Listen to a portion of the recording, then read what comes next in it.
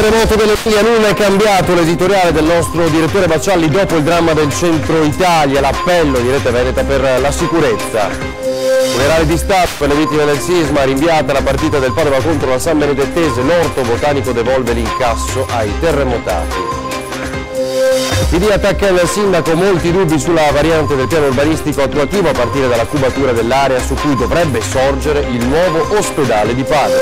Castello dei Cararesi sarà la nuova piazza della città, il restauro delle mura e altre piste ciclabili, nove progetti presentati a Renzi per un bando da 18 milioni. Anziani soli, la paura di non farcela negli anni della crisi, nuove patologie, affrontate con il sorriso e la compagnia di altri nonnini al centro di urna di. Gira in città il canottiere con la pistola sul cinturone, scatta l'allarme a Padova, ma è solo un vigilante s'accaldato che si è tolto la camicia. Si diverte a tempestare di telefonate il centralino dei vigili del fuoco, bimbo di 6 anni scherza con il cellulare di papà ma viene scoperto dalla polizia. Buonasera, buonasera, ben ritrovati in diretta con l'informazione di eh, TG Padova, dunque era il maggio del 2012, a poche ore dal dramma che sconvolse l'Italia intera, il terremoto dell'Emilia la Rete Veneta lanciò un appello, mettere in sicurezza anche il nostro eh, territorio. Ricorderete che la Bassa Padovana, soprattutto il Loro di Gino, fu eh, comunque colpito da quel sisma. Ecco, a, a, di a, distanza di diversi anni nulla è cambiato, cominciamo dunque da questo l'editoriale del nostro direttore Bacialli.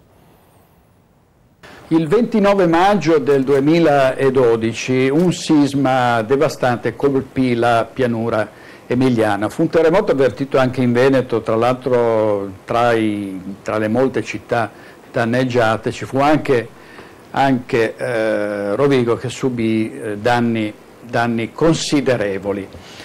In quella circostanza Rete Veneta eh, decise di prendere un'iniziativa, quella di eh, mettere in sicurezza i, i capannoni del, del, Veneto e del nord-est, perché si eh, constatò che gli edifici che crollarono in Emilia-Romagna furono soprattutto quelli, no? i capannoni industriali, molte piccole e medie imprese che furono ridotte in briciole da questa scossa, da questa prima scossa davvero eh, terribile, ci furono all'epoca anche morti e, e, feriti. Ne parlammo con il presidente Luca Zaia, l'idea era stata quella dell'ingegnere Giovanni Iannacopoulos, il nostro editore, se ne parlò con la, con la regione, si fecero diversi incontri con tecnici, con, con uh, i contabili della, della, regione del Veneto e alla fine uh, l'iniziativa non andò in porto perché uh, si disse che una legge regionale che prevedesse da parte degli imprenditori un contributo per mettere in sicurezza le proprie imprese sarebbe stata vista come un ulteriore balzello, come una tassa e erano momenti, d'altra parte come quelli attuali, in cui parlare di, di tasse o comunque di contributi in più eh,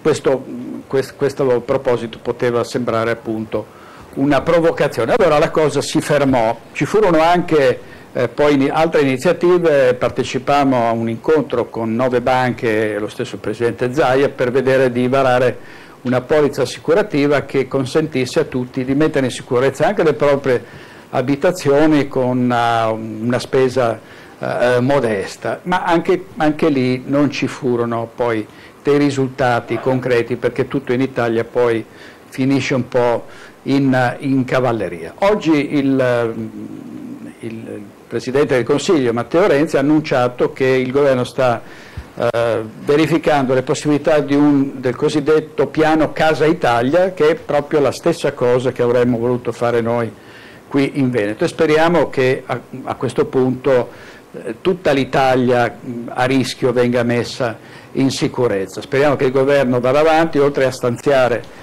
dei soldi dopo il terremoto si faccia finalmente prevenzione, perché è quello che manca in questo Paese. Noi ci disperiamo a cose fatte quando c'è la catastrofe, poi ah sì, la ricostruzione, ma no, possiamo, si può intervenire preventivamente per evitare questi disastri. Guardate Norcia, Norcia aveva già subito un terremoto, era stata messa in sicurezza, ha subito danni irrilevanti rispetto alla catastrofe di accumuli e soprattutto di amatrice, eh, si contano purtroppo eh, quasi 300 morti, speriamo che non si arrivi, che, che il bilancio delle vittime si fermi, si fermi, si fermi lì. Quindi noi continueremo, adesso riproporremo a livello regionale questo, questo piano, speriamo che i parlamentari del Veneto si diano da fare per sollecitare il governo a varare queste misure, ma non solo a parlarne, a prometterle, a farle, in modo che davvero dovesse capitare quello che è successo ad altrove ed è,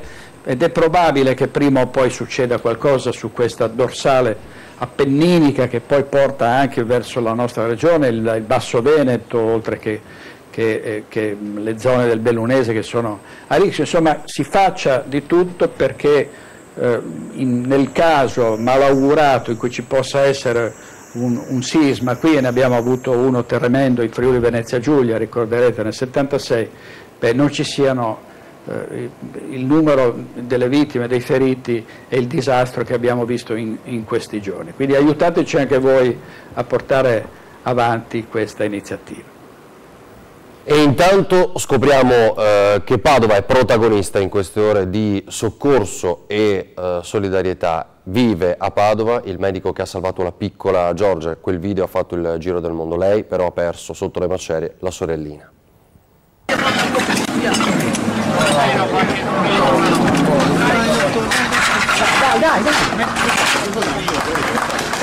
dai, dai! L'angelo di Giorgia si chiama Nicola Bortoli, medico mestrino da tempo, residente a Padova. È stato lui a dare indicazioni ai soccorritori per mettere in salvo la piccola di 4 anni dall'inferno che trema a pescare del Tronto. 17 ore sotto le macerie. Il capo squadra dei vigili del fuoco di Pesaro Urbino, tra le lacrime, ha detto solo che ora spera lei possa dimenticare tutto. La sorellina di 9 anni invece è morta per la prima violentissima scossa che ha devastato la provincia di Rieti. Padova, dopo l'invio degli psicologi, dunque è determinante in queste ore per le operazioni di soccorso. Il rettore del Bo Rizzuto ha stabilito che l'intero incasso delle visite dall'orto botanico da martedì 30 e per due settimane sarà devoluto alle popolazioni colpite dal terremoto. Biglietto per di più ridotto a 5 euro per attirare più turisti. Intanto nel pomeriggio è arrivata la conferma della Lega Pro del rinvio del match San Benedettese Padova previsto per domani, come stabilito dal prefetto di Ascoli per la concomitanza dei funerali di Stato. Una delegazione di ultras biancoscurati della Fattoria ha confermato però la trasferta, divenuta ora esclusivamente solidale dopo aver raccolto medicinali generici, aspirine, cicatrizzanti, disinfettanti e cerotti che possono essere consegnati anche domani mattina alle 8 prima della partenza dal park dello stadio. In questo caso qua mi sento di fare un elogio per l'iniziativa che hanno intrapreso a favore diciamo, del che sono sensibili e anche solidari eh, quando hanno ripreso giusto le prime dei quindi giusto lodati e non lodati. Torniamo adesso alla politica, in città invece al Partito Democratico i conti non tornano in riferimento a quello delle aree del nuovo ospedale. Il nuovo ospedale, che secondo i piani del sindaco Bitonci dovrebbe sorgere nell'area di San Lazzaro a Padova Est, rischia di diventare un ospedaluncolo che andrebbe ad aggiungersi e non a sostituire quelli già esistenti. È la domanda che si pone il Partito Democratico Cittadino analizzando la variante al piano urbanistico attuativo. Molti punti poco chiari a partire dalla viabilità attorno all'area. Viene realizzata una viabilità principale che dovrebbe essere a sostegno eh, del nuovo polo ospedaliero ma che ci sembra molto più a sostegno dell'edificazione dei privati eh, che invece di pagare il 50% dell'opera se la cavano a basso prezzo cedendo solo 14.000 metri quadri che così sarebbero valutati a più di 250 euro al metro quadro. Poi c'è un'altra questione, quella della compatibilità idraulica. La valutazione ambientale deve essere rifatta prendendo in considerazione non solo l'impatto dell'area edificata dai privati ma anche di quello che verrà realizzato a fianco e quindi di 800.000 metri cubi eh, che sono i metri cubi previsti per il nuovo eh, polo ospedaliero. Quello che ci preoccupa di più è però che anche con l'area ceduta dai privati per realizzare il nuovo ospedale sommati ai 200.000 metri quadri di proprietà eh, del comune arriviamo a 320.000 metri quadri molti meno di quelli richiesti dall'università che aveva imposto come condizio sine qua non per l'accordo sull'area proprio la cubatura inizialmente prevista di 470.000 metri quadri. Secondo il PD ora si arriverebbe a 328.000 metri quadri, 200.000 sono quelli messi a disposizione dal comune di Padova e 128.000 l'area ceduta dai privati. Il sindaco di fronte a un'opera che impegnerà mezzo miliardo di fondi pubblici, la più importante opera pubblica dal dopoguerra probabilmente per la città. Come mai non ritiene di poter convocare, come noi abbiamo chiesto, un consiglio comunale straordinario? Intanto per Padova i progetti eh, ci sono, ce ne sono altri, li ha annunciati oggi l'amministrazione e chiedendo così anche 18 milioni al governo Renzi. Padova vuole diventare smart e per farlo la Giunta ha approvato nove progetti per presentarli e ricevere 18 milioni di euro dal bando del governo Renzi per le periferie. L'amministrazione sta lavorando da mesi su questi progetti che rientrano sotto il nome appunto di Padova Smart City. Questa è la risposta a chi dice che non c'è una progettualità in città, dice il primo cittadino. 9. I punti di intervento messi in cantiere. Il restauro del Parco delle Mura, le piste ciclabili di via Canestrini e via Bembo, il restauro del Castello dei Carraresi, la scuola Montegrappa da ristrutturare, le due palazzine Liberty di Piazzale Boschetti, per cui sono stati chiesti 7,3 milioni di euro, Parco Boschetti e la sistemazione di via Morgagni, chiesti 2 milioni di euro, Parco del Basso Isonzo, chiesti 300.000 euro, l'implementazione della videosorveglianza in città, chiesto un milione di euro, e infine un progetto stilato con il Petrarca Rugby per le nuove strutture, campus e foresterie in via Gozzano.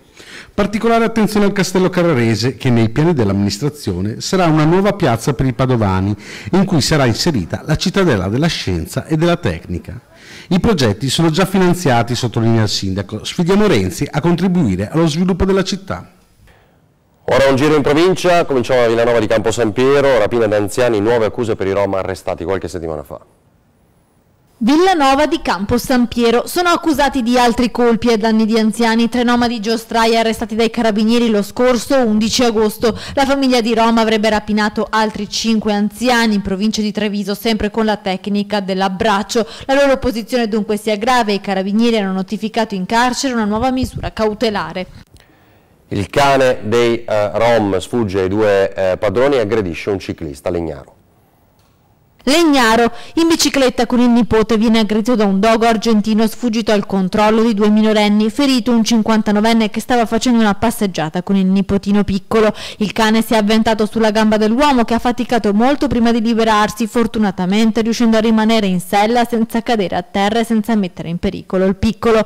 Il cane era sfuggito due ragazzini nomadi che vivevano a poca distanza dal luogo dell'aggressione. L'intera famiglia è stata denunciata. Un pregiudicato tunisino tenta di scavalcare un cancello ma precipita nel vuoto. Padova, volo di 4 metri mentre tenta di scavalcare il cancello che porta ai garage sotterranei dei grattacieli della cittadella di via Pertini alla Stanga. Ferito gravemente un pregiudicato tunisino. Non è chiaro se l'uomo, 33 anni e senza fissa dimora, volesse entrare per rubare all'interno dei box auto oppure se era solo alla ricerca di un luogo dove trascorrere la notte. È stato identificato dai carabinieri e portato in ospedale dove si trova tuttora ricoverato per le gravi ferite. Tempesta di telefonate al centralino del 115 e poi scoprono che è un bambino di 6 anni. Un pomeriggio senza poter giocare con l'iPad della papà e così un bimbo di 6 anni ha deciso di divertirsi con il cellulare del genitore. Al centralino dei vigili del fuoco per un'ora sono così arrivate decine di telefonate anonime, tanto che i pompieri hanno pensato che si potesse trattare di qualcuno in difficoltà che non riusciva a parlare. All'altro capo del telefono però c'era il bimbo di 6 anni che è stato rintracciato localizzando il cellulare. Quando la polizia si è presentata a casa dei genitori, ignari di quanto stava accadendo, il piccolo ha subito intuito che lo scherzo aveva superato il limite mortificato ha chiesto scusa agli agenti. Restiamo in città, c'è un uomo che gira in canottiera ed è armato di pistola in via Beato Pellegrino. Due segnalazioni arrivate in pochi minuti, ieri pomeriggio al 113, sul posto immediatamente i poliziotti delle volanti delle Digos e delle squadre, della Digos e delle squadre speciali antiterrorismo, ma dell'uomo nessuna traccia. Fortunatamente un testimone aveva annotato il numero di targa dell'auto da cui era sceso il personaggio sospetto, gli agenti sono così risaliti alla sua identità, una guardia giurata che abita in quella zona, quando lo hanno rintracciato a casa hanno eh, trovato ancora in canottiera. La camicia ha detto me la sono tolta a fine turno perché ha caldato dimenticandosi di avere eh, la pistola in bella mostra, una leggerezza in questo periodo di grande paura per il terrorismo, i poliziotti hanno trovato la pistola sopra il tavolo e così hanno disposto il sequestro cautelativo dell'arma, non è il modo corretto di eh, trattarla evidentemente. Oggi a linea diretta abbiamo parlato eh, di anziani, delle tante iniziative della cooperativa eh, FAI che affronta anche in questo momento di grande crisi una sorta di nuova patologia. Cambiano anche le problematiche degli anziani. Noi dicevamo che rispetto delle accoglienze passate abbiamo molti più disturbi ad esempio del comportamento, quindi abbiamo altri tipi di patologie, per cui avremo sicuramente bisogno Dovuto di... Dovuto a persone che sono rimaste sole, cosa intendi? Eh certo, eh. la solitudine, la crisi economica, cioè ecco. sono tanti fattori che si stanno sommando e che ci stanno portando a queste situazioni. Quindi la crisi economica è diventata una patologia per alcuni di questi anziani, è mettiamola così. È diventata, un è diventata un aggravante direi io, no? di certe situazioni che già potevano essere critiche, per cui sicuramente un sostegno maggiore da parte delle istituzioni, è inutile che, che lo dica, che possono essere non solo l'amministrazione comunale ma può essere anche una regione, a, a noi eh, sono quasi necessari. In cosa mm, si manifesta questa difficoltà? Io l'ho chiamata patologia, chiaramente sbagliato, una patologia da, dovuta alla crisi economica di questi mm. anziani. Eh, direi che come in tutti i tempi storici, no? mm. direi, nel momento in cui c'è probabilmente una problematica più importante anche a livello economico, no? c'è anche più solitudine, certo. c'è meno possibilità di dare un aiuto e quindi è in quel momento che tu fai la differenza non nascondiamoci, questo posso anche, eh, Stefano può anche testimoniarlo, che in alcune volte noi ci sopperiamo un po' anche la parte pubblica, perché dove c'è bisogno, vediamo che c'è l'utenza che ha bisogno, diciamo bene, lo facciamo noi, anche, anche per quell'utente che potrebbe già aver, essersi allontanato magari dal centro, ma che ci preme seguire anche dopo. Il Veneto e il Friuli Venezia Giulia a rischio terremoto, questa sera a Focus, ospiti del direttore Luigi Bacelli, dalle 21.05 saranno Giorgio Santini, Emanuela Lanzarin, Ivan Palasgo, Michele Favero, Marco De Blasis, Patrizia Peretti, Pietro Zangheri. Come al solito aspettiamo i vostri sms. È tutto per questa edizione di TG Padova, grazie per averci seguito e buona serata.